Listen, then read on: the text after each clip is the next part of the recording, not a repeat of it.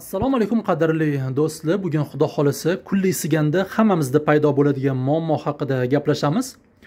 Bugungi mavzuyimiz xona gullarida paydo bo'ladigan mayda qora pashshaga qarshi uy sharoitida nima qo'llasa bo'ladi? Uy sharoitida qanaqa qilib yo'qisa bo'ladi? Qora mayda pashshaga qarshi uy sharoitida eng arzon eng samarali va odam uchun bezarar bo'lgan narsa bu albatta chisnoni kukuni. Ruschasiga molti chisnok deydi mana shunaqa pochkalarda sotiladi. O'sha oddiy oziq ovqat do'konlarida sotiladigan chesnoni kukuni. Natijasi yuz foiz albatta ishlatib ko'ringlar video davomida masalaga qanaqa qilib ishlatishni hammasini ko'rsatib tushuntirib beraman. O'zi bizani asosiy dushmanimiz bu uchib yuradigan qora mayda pashsha emas. Bizani asosiy dushmanimiz qora mayda pashshani tuproqdagi lichinkasi. Bizani maqsadimiz tuproqdagi lichinkalarni o'ldirish va qora mayda pashshaga tuproqqa tuxum qo'yishga imkoniyat bermaslik.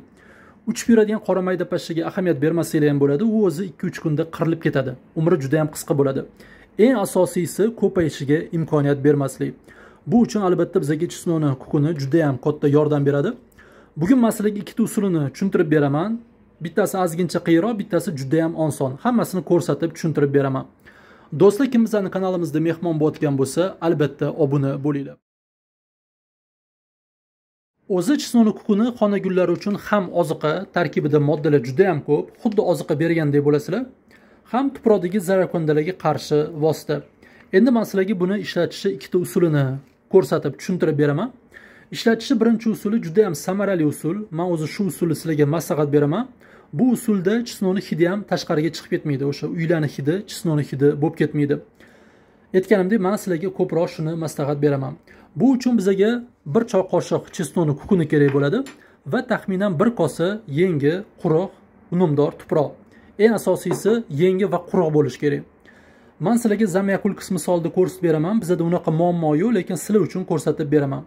Biza birinchi o'rinda zamyakulkisi eski tuprog'ini tepa qismini ozgincha olib tashlashimiz kerak. Chunki qora mayda pashshani lichinkalarini asosiy qismi tuproqni tepasida bo'ladi. Oltmish foizini biza tuproqni o'zi bilan olib tashlaymiz birinchi mana tepa qismini ozgincha olib tashlaymiz. Shu ikki bir ikki santimetr olib tashlasanglar yetadi. Hozir man sizlarga buni olib tashlab keyin yana aloqaga chiqamiz. Mana tuprog'imizni tepa qismini aylantirib bir ikki santimetr olib tashladik. Mana taxminan bir kosa olib tashladik. Bu olib tashlagan tuprog'imizni biza hech qaysi o'simlikni boshqa qaytarib ishlatmaymiz. Buni tashlab yuboramiz chunki bu yerda qora mayda pashshani lichinkalari bor. Zararlangan tuproq buni biz albatta tashlab yuboramiz endi biza shu olib tashlagan tuprog'imizga bir choy qoshiq chesnoni kukunini aylantirib sepib chiqamiz. Faqat bir maromda sep chiqinglar. Bitta joyiga ko'proq bitta joyi kamroq bo'lib qolmasin. Hamma yog'iga bir xilda tushsin. Mana aylantirib sekin sekin sep chiqamiz. Shoshilmasdan. Mana shunaqa qilib? Endi bitta qo'lda noqulayroq. Aylantirib sep chiqamiz. Mana bir choy qoshiqda chisnoni kukunini sep chiqdik. Endi o'zini tuprog'i bilan aralashtirib yuboramiz ozgincha shunaqa qilib aralashtirib yuboringlar.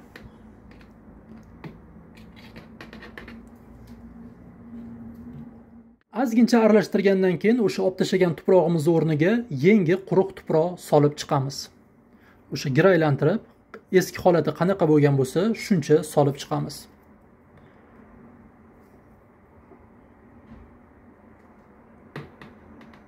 Mana do'stlar tuproqlarni solib chiqdik juda yam chiroyli bo'ldi. Bu bizani birinchi usulimiz. Birinchi usulni o'ziga yarasha ozgincha mehnati bor. Ikkinchi usul bo'lsa juda yam oson. Uni ham albatta tushuntirib beraman. Lekin man sizlarga birinchi usulni taklif qilaman chunki buni samarasi ancha yuqori va chisnoni hidi tashqariga chiqib ketmaydi. O'sha tuproqni tagida qolib ketadi. Misol uchun uy ichida bo'lsa bu judayam muhim. Tashqarida bo'lsa farqi yo'q. Yana bir muhim joyini sizlarga albatta aytishim kerak. Bu ishni qilganimizdan keyin biza kamida to'rt besh kun suv quyishimiz kerak emas. Bu uchun sizlar yoki oldindan suv quyib olishinglar kerak yaxshilab. Yoki agar chanqab qolsa shu to'rt besh kun orasida chanqab qoladigan bo'lsa suvni tarelkasidan beringlar. Lekin tepasiga eng kamida to'rt besh kun suv quymay turinglar. Endi man sizlarga ikkinchi usulni ko'rsatib beraman. Ikkinchi usulni mana shu gulimizni misolida tushuntirib beraman. Do'stlar albatta bizani ildiz telegram kanalimizga ham obuna bo'linglar. Ildiz telegram kanalimizda har kuni xona gullari haqida qiziqarli ma'lumotlar xona gullari parvarishi haqida alohida alohida ma'lumotlar hozircha qirq beshta xona guli haqida batafsil gaplashdik. Har xil savol javoblar maslahatlar albatta obuna bo'linglar. Ssilkasi birinchi izohda birinchi kommentariyada endi chesnoni kukunini ishlatishni ikkinchi usuli haqida gaplashamiz. Ikkinchi usuli ancha osonroq buni ham samarali desak bo'ladi faqat bitta aybi chesnoni hidi tashqariga chiqib ketadi. Ozgincha chiqib ketadi. Uy sharoitida bo'lsa uy ichida bo'lsa buni qo'llamaslik yaxshi. Agar misol uchun gullaringlar tashqarida bo'lsa buni ham bemalol qo'llasanglar bo'ladi. Bu usul uchun bizga faqatgina bir choy qoshiqda chisnoni kukuni kerak bo'ladi. Shu chisnoni kukunini biza aylantirib tuprog'iga sepib chiqamiz. Mana man sizlarga sensiberiya misolida tushuntirib beraman. Aylantirib bir maromda sepib chiqamiz. Sepib chiqqanimizdan keyin endi o'zini tuprog'i bilan ozgincha aralashtirib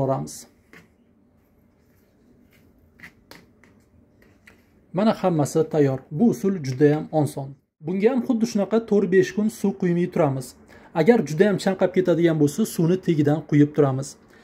Endi bu tuproqga o'sha uchib yurgan mayda pashshalar tuxum qo'yolmaydi chunki hididan qochib ketadi va chiznuni o'sha kuchidan hididan tuproqdagi bor lichinkalar ham hammasi xudo xohlasa o'lib ketadi. Juda yam samarali usul o'zimiz har doim qo'llaydigan usullarimizdan biri. Albatta ishlatib ko'ringlar bu usul o'zi kim uchun kerak? Misol uchun kimdir uyda ximiyalarni ishlatgisi kelmaydi. Misol uchun aktara fitoverimlarni ishlatishdan qo'rqadi. Yosh bolalari bor. Bu usulni bemalol qo'llasanglar bo'ladi. Odam uchun hech qanaqa zarari yo'q. Faqat o'sha lichinkalarni o'ldiradi. Do'stlar mana bugun sizlarga shuni tushuntirib bermoqchi edim ko'rsatib bermoqchi edim. Gullarimiz zararlanmagan bo'lsa ham man sizlarga ataylab ko'rsatib berdim. Sog' bo'linglar salomat bo'linglar. Xudo xohlasa keyingi videolarda ko'rishamiz. Va obunachilarim taklifiga ko'ra man ko'proq sizlarga o'sha uy sharoitida qanaqa oziqalar tayyorlasa bo'ladi? Uy sharoitida har xil o'rgimchakani shiralarga qarshi qanaqa kurashishsa bo'ladi? Shularni xudo xohlasa ko'proq gapirib beraman. Chunki ko'plarni sharoiti yo'q oziqa sotib olishga yoki bir xil ximiyalarni ishlatishdan qo'rqadi. Shu uchun shunaqa videolar ham xudo xohlasa ko'proq bo'ladi.